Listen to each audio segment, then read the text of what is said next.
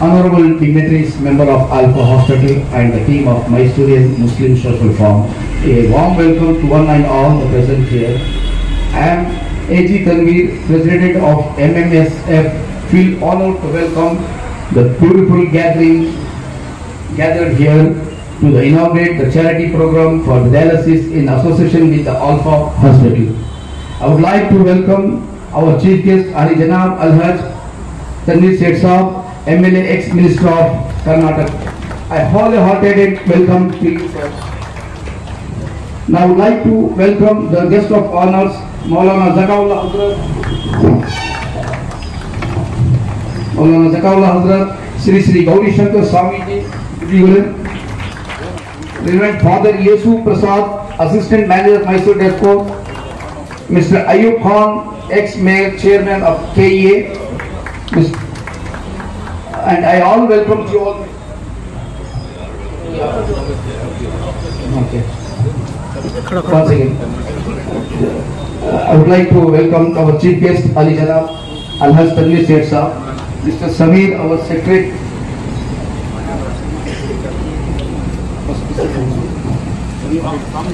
Swami. Okay welcome to गो श्री श्री गौरी शंकर श्री स्वामी जी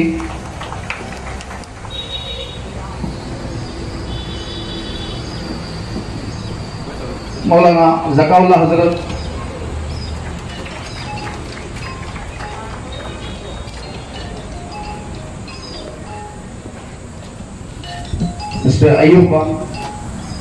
और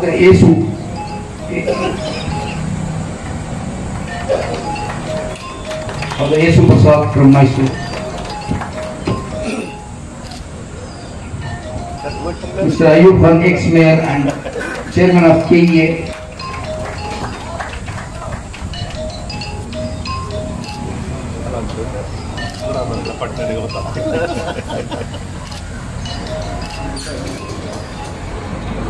So, our chief guest Mr. Ali Janab Tanveer Seth Saab, MLA, ex chief ex minister of Karnataka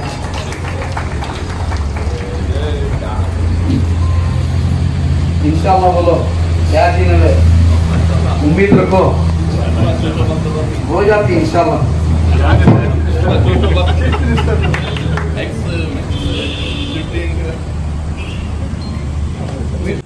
अलैक्म वरहमतुल्लाहि वबरकातुहू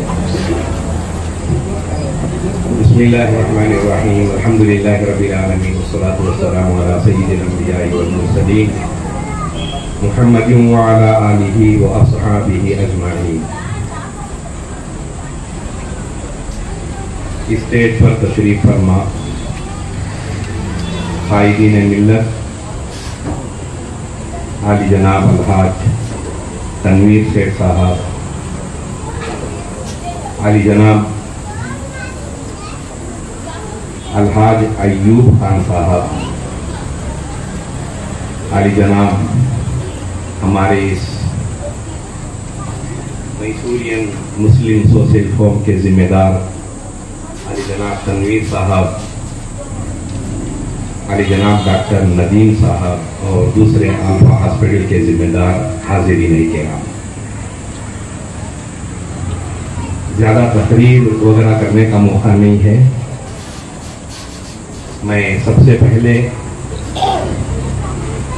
अली जनाब doctor Nadeem साहब की खिदमत में मैं मुबारकबाद पेश करता हूँ कि उन्होंने, माशाल्लाह, ना सिर्फ़ ये डायलिसिस सेंटर के लिए उन्होंने उसका मौका इनायत फरमाया, बल्कि उससे पहले इस अस्पताल को, जिसकी बुनियाद अली जनाब हज़रत मौलाना काजी मुजाहिदुल इस्लाम साहब रहमतुल्लाह अलैह और हज़रत अमीर शरीयत रहमतुल्लाह अलैह इन दोनों के दस्ते मुबारक से और इसी तरह अली जनाब अलहाज अजीज़ुल मुल्क अज़ीज़ सेठ साहब इनकी निगरानी में इसका जो है संग बुनियाद हुआ था और बड़ी उम्मीदों के साथ इसकी जो है बुनियाद रखी गई और तामीर की गई और नाम भी हज़रत काजी साहब ही के मशवरे से बीबी आयशा मिली अस्पताल रखा गया था। अब किसी की नज़र लगी मालूम नहीं।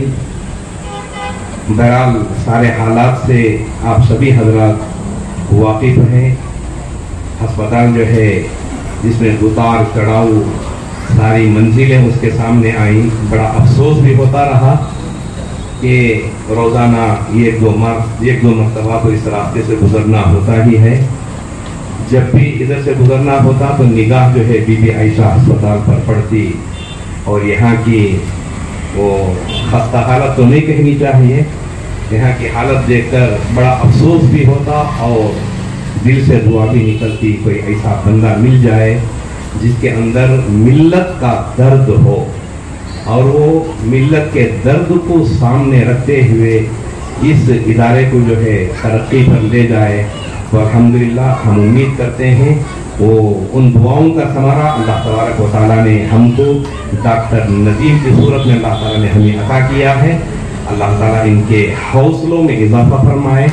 इनकी जो इनकी जो कमेटी है अल्लाह ताला इनके अंदर वो हिम्मत, वो हौसला, वो जज्बा इनके अंदर पैदा फरमाए जो इंसानियत की खिदमत के लिए। एक तो ये है कि एक तजारती मामला होता है, उसके साथ साथ जो इंसानियत की खिदमत का जो जज्बा होनी चाहिए, वो जज्बा अल्लाह तबारक व तआला इनके अंदर भरपूर अता फरमाए, हम उनके लिए दुआ भी करते हैं।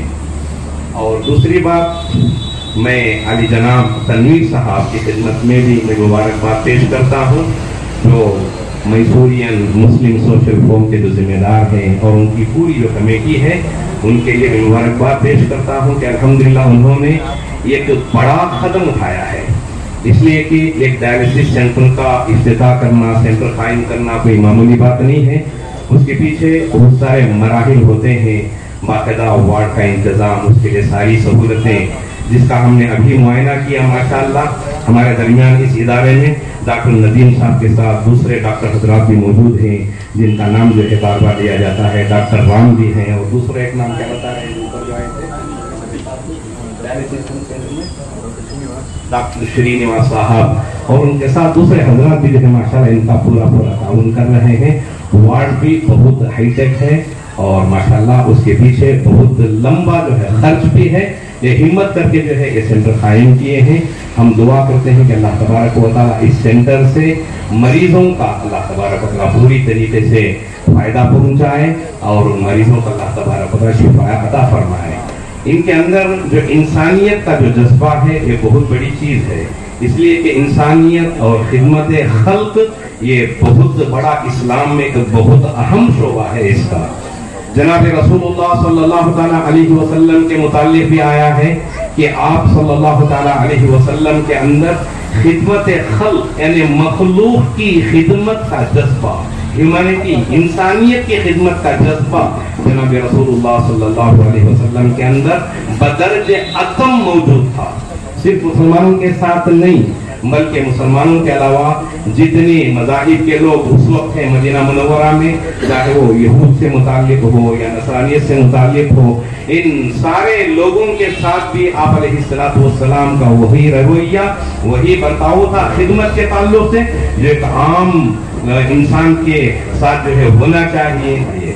चुनाव इस मौके पर इंसानियत की खिदमत को सामने रखते हुए अल्हम्दुलिल्लाह यहाँ जो है डायलिसिस सेंटर का जो है इफ्तिताह अमल में आया है, जिसकी सारी तफसील, जिसके कॉस्ट के मुतालिक और उसके लिए क्या मजीद जो है जरूरतें दरकार हैं, ये सारी बातें अली जनाब तनवीर सेठ साहब और अली जनाब अयूब खान साहब आप हजरात की खिदमत में पेश किए हैं। मैं उम्मीद करता हूँ कि ये जो डायलिसिस सेंटर ओपन हुआ है, इसे जो है आप परवान चढ़ाएँ, इसे जो है तरक्की के मनाजिर तक पहुंचाएँ और उसके साथ साथ इस इदारे को भी जो है आप तरक्की के मनाजिर तक पहुंचाएँ। और हर एक हमारे अंदर जो है ये इंसानियत का जज्बा, खिदमत खल का जज्बा अपने अंदर रखता है। तो फिर अल्लाह तबारक व ताला हमारी मिल्लत के और लोगों के हालात को अल्लाह तबारक व ताला दुरुस्त फरमाते हैं।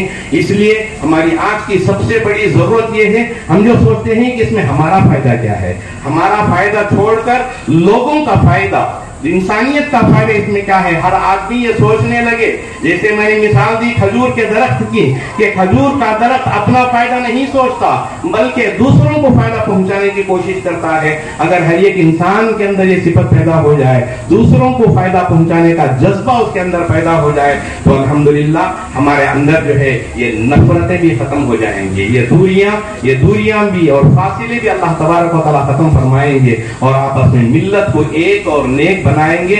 आज की सबसे बड़ी अहम ज़रूरत हमारे अंदर से इन नफरतों को खत्म करना है। हमारे अंदर से इन फासिलों को खत्म करना है। हमारे अंदर उल्फतें, मोहब्बतें पैदा करना है। हर एक के साथ, इसलिए कि ये हमारा जो समाज है, जिसमें मुसलमान भी हैं, हिंदू भी हैं, सिख भी हैं, और मुख्तलिफ़ मजाहिब के मिले हुए हैं, ये हिंदुस्तान एक चमन है, जिसमें हर किस्म के फूल मौजूद हैं। लिहाजा ये चमन उसी वक्त अपना फूल देने लगेगा, जब उसमें किसी किस्म का नुकसान देने वाला अगर कीड़ा उसमें अगर आया हो तो उस कीड़े को दूर किया जा रहा है।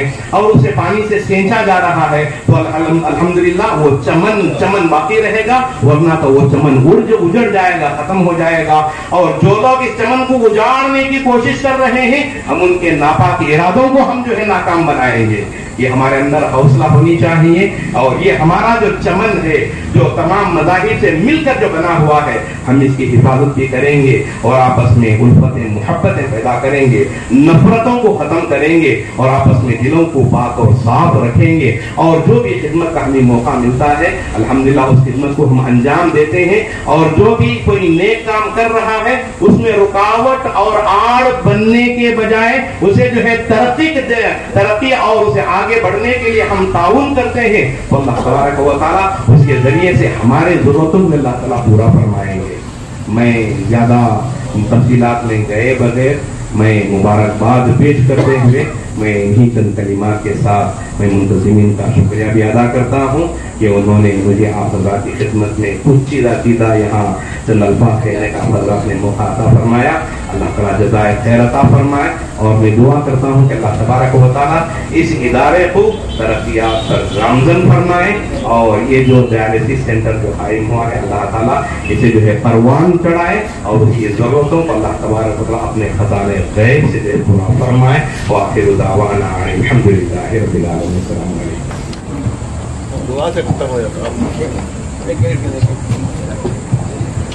अस्सलाम वालेकुम रहमतुल्लाहि हम हम लोगों को यहाँ पे बुलाया गया है कि डायलिसिस सेंटर जो अपने गरीब भाइयों के लिए मदद करने के लिए।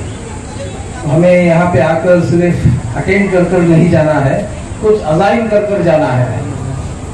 तो इंशाल्लाह मेरी तरफ़ से 20 डायलिसिस के लिए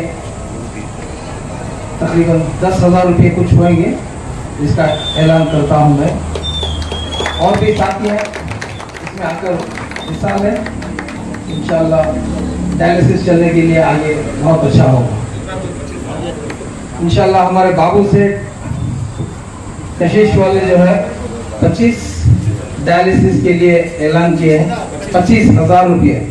ट्वेंटी फाइव थाउज़ेंड रुपीज़ बाबू से। जजाकल्ला 50 डायलिसिस बाबू से। The amount of 50 dialysis. Yeah, yeah, 50 dialysis. अगर और कोई है तो इंशाल्लाह। इदारे से। आयशा हॉस्पिटल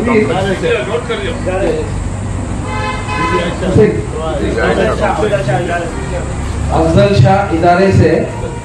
20 डायलिसिस जो है अल्हम्दुलिल्लाह हमारे हिदायतुल्लाह मौली हिदायतुल्लाह साहब जो है ऐलान किए गए। जजाकल्लाह जजाकल्लाह। I really appreciate Ibrahim said who has taken the initiative for this announcement. It's almost about 20 dialysis we have uh, done up now.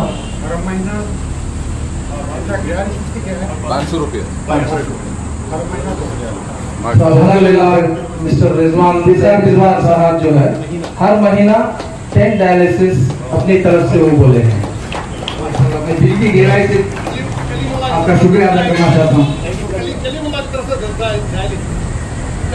जी जनाब कलीमुल्ला साहब की तरफ़ से 10 डायलिसिस है। जी शुक्रिया शुक्रिया नहीं